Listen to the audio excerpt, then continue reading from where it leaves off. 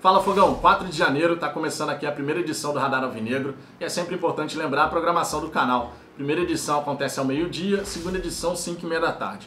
De vez em quando a gente pode ter um atraso aqui, outro ali, faz parte, uma notícia que saiu de última hora e tal, mas sempre fique ligado na programação do canal por volta de meio-dia e 5 e meia da tarde. Como hoje é terça-feira, tem aquela live às 10 da noite, toda terça, quinta e domingo às 10 da noite, aquele encontro marcado para uma resenha gloriosa com a participação da galera do chat. Então fica o convite para logo mais você chegar aqui no canal e participar da conversa.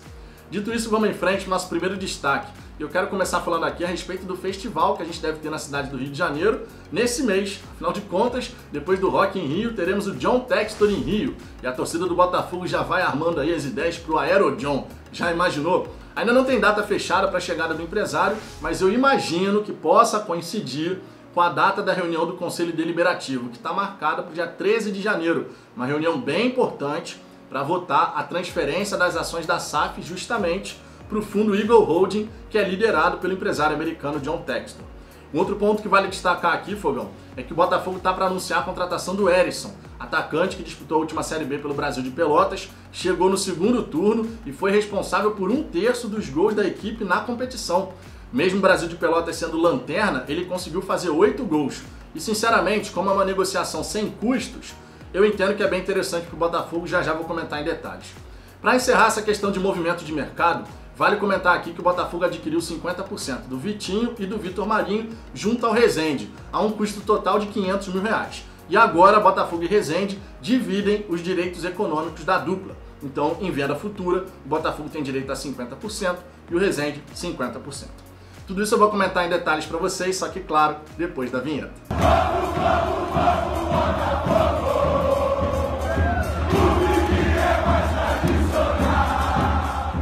Vamos lá, Fogão, para começo de conversa, eu peço por gentileza que você deixe o seu like, isso é muito importante, sinaliza para o YouTube que o conteúdo é relevante e dessa maneira mais botafoguenses passam a conhecer o Fala Fogão. Isso nos ajuda a crescer, portanto. Se você não for inscrito, se inscreva para que a gente possa alcançar a marca dos 13 mil inscritos o mais breve possível e ainda nesse primeiro semestre os 20 mil, que é o nosso grande objetivo nessa primeira metade do ano, certo? Com a sua ajuda a gente vai chegar lá. Para se inscrever é bem tranquilo, basta você clicar no botão inscrever-se que está aqui abaixo do vídeo, aproveita depois e clica no sininho que vai aparecer ao lado. Assim você ativa as notificações e vai ser sempre avisado quando tiver vídeos e lives aqui no canal. Muito embora eu já tenha falado da programação do canal, aquele alerta né, na correria do dia a dia é sempre bem-vindo. Dito isso, vamos em frente aqui e eu quero falar em primeiro lugar a respeito desse movimento que o Botafogo fez de adquirir 50% do Vitinho e do Vitor Marinho junto ao Rezende. Os dois garotos se destacaram no nosso sub-20, o Vitor Marinho como lateral direito, o Vitinho como jogador pelas beiradas ali, né, o meio atacante, e eles chegam para integrar o elenco profissional do Botafogo. É um movimento bem interessante do Glorioso porque a gente está apostando em jogadores que têm potencial de desenvolvimento, pensando em retorno técnico e financeiro futuramente. É um movimento acertado na minha visão. Lembrando que os dois jogadores foram adquiridos por conta da venda do Marcelo Benevenuto, tá? um dos frutos da venda do Marcelo Benevenuto foi justamente a gente garantir a permanência desses dois jogadores, que pertenciam ao Resende, estavam emprestados ao Botafogo no ano passado e agora são nossos em definitivo. O Botafogo e o Resende, conforme eu disse, vão dividir os direitos econômicos dos dois atletas.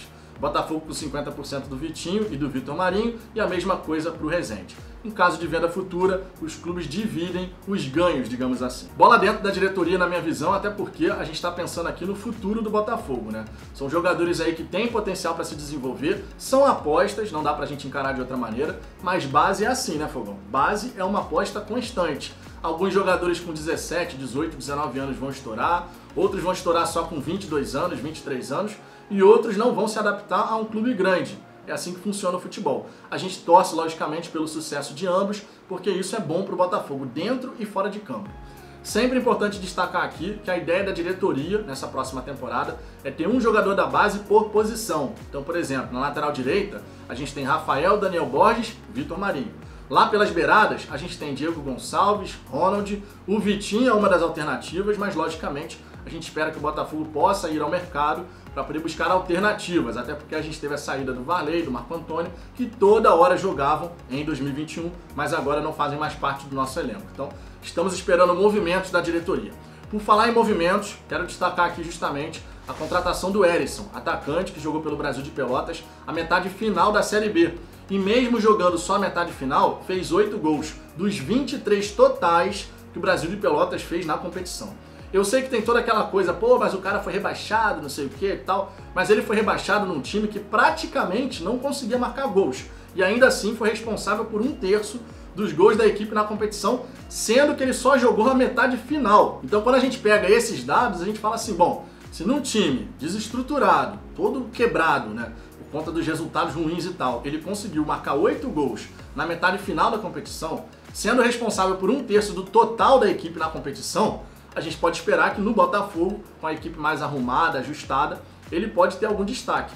E é sempre importante lembrar que o Erisson está chegando ao Botafogo sem custos. Isso porque um grupo de investidores chamado Kirin Soccer está adquirindo 40% junto ao 15 de Piracicaba e repassando o jogador ao Botafogo. Então o Botafogo em si não está tirando um real para poder adquirir os direitos econômicos do atleta.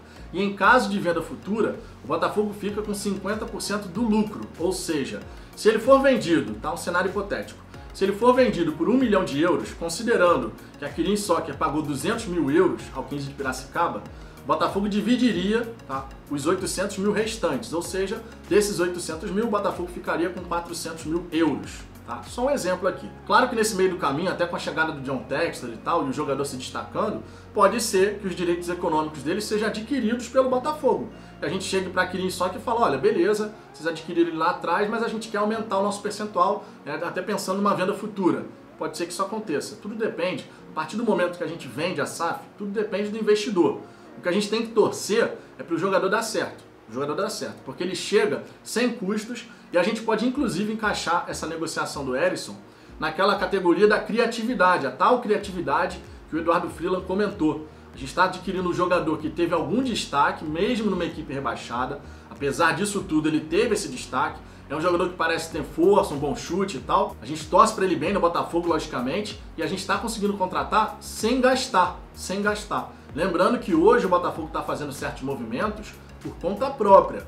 Não é pensando no Botafogo que vai virar SAF. O Botafogo, nesse momento, tem que fazer os movimentos até onde a perna alcança. Caso contrário, vai dar problema. Então, essa contratação do Erisson é de um jovem com potencial, 22 anos de idade e tal, e dá para ser encaixada nessa categoria de criatividade. Diferente, por exemplo, da gente só ficar contratando o jogador por indicação de técnico. O Klaus é um exemplo. O Klaus é um exemplo. Não faz sentido a contratação do Klaus. A torcida em peso está falando, não faz sentido. É melhor você dar oportunidade para um garoto da base. É diferente o caso do Ellison. Ah, mas por que, que a gente não aposta na base? Porque nada impede, apesar da gente ter a nossa base, apesar do elenco profissional, nessa temporada a gente está contando com o Matheus Nascimento, Gabriel Conceição, o Gabriel Tigrão está na copinha, né? Mas apesar da gente contar com esses atletas, nada impede que o Botafogo olhe para o mercado e traga jovens com valor. Nada impede, nada impede.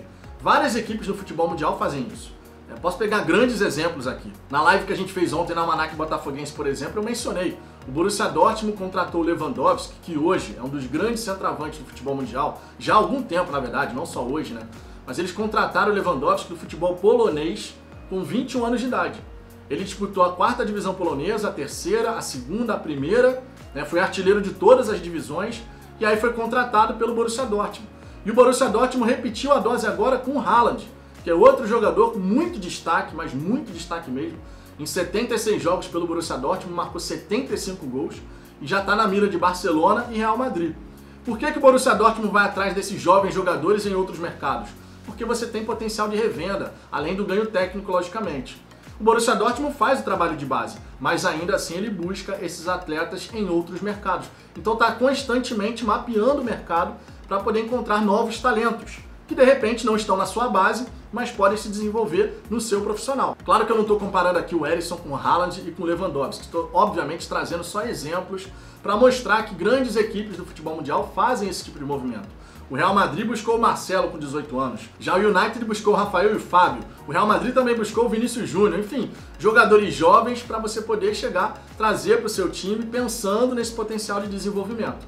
E o Botafogo pode muito bem fazer esse movimento de mercado também. Apesar da gente desenvolver um trabalho de base, nem todos os talentos jovens estão com a gente. Então não tem problema nenhum você chegar e olhar para o mercado e buscar esses jogadores também. Que o Erisson tenha sucesso com a nossa camisa, porque dando retorno técnico, o valor de mercado dele cresce e tendo uma venda futura, mesmo que o Botafogo só fique com 50% do lucro, vai entrar um dinheiro bacana nos cofres do Botafogo, certo?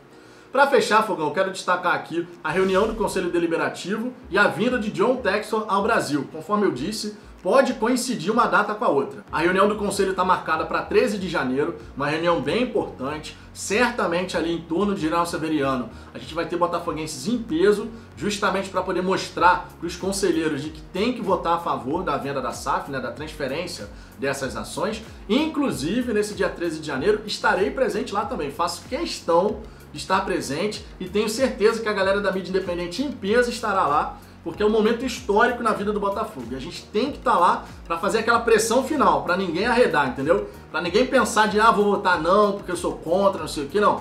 Temos que aprovar a transferência das ações da SAF. E de repente, nesse dia 13, a gente pode ter, quem sabe, a presença de John Textor. Até porque ele desmentiu um fake lá no Twitter dizendo que ele só vinha para o Brasil dia 22 de janeiro. Ele falou: olha, eu devo chegar no Brasil bem antes disso. Então, bem antes disso, pode ser, né? Coincidindo aí com o dia 13 de janeiro. E a torcida do Botafogo já está preparando aquele Aerojohn. Sabendo a data de chegada do homem, pode ter certeza, o cara vai ter uma recepção para nunca mais na vida dele esquecer o calor da torcida do Botafogo. E isso é importante, Fogão. É importante ele entender onde ele está entrando. E eu falo isso porque é diferente você ser um investidor, um, dois investidores no Crystal Palace, que disputa a Premier League e tudo mais, e está habituado a ficar ali no meio da tabela e ainda assim ganha muito dinheiro, do que é você ser um investidor majoritário, 90%, do Botafogo. Coisas completamente diferentes. A história do Botafogo nem se compara à história do Crystal Palace. Né? A nossa história é mundialmente conhecida, reconhecida em tudo quanto é canto do planeta, então, obviamente, a gente tem que mostrar sim pro John Textor qual é o peso da nossa torcida e a nossa expectativa em relação a essa mudança. A gente está deixando de ser um Botafogo amador para um Botafogo profissional, mas o Botafogo visa grandes conquistas. E é importante o empresário americano entender a dimensão da expectativa da torcida botafoguense.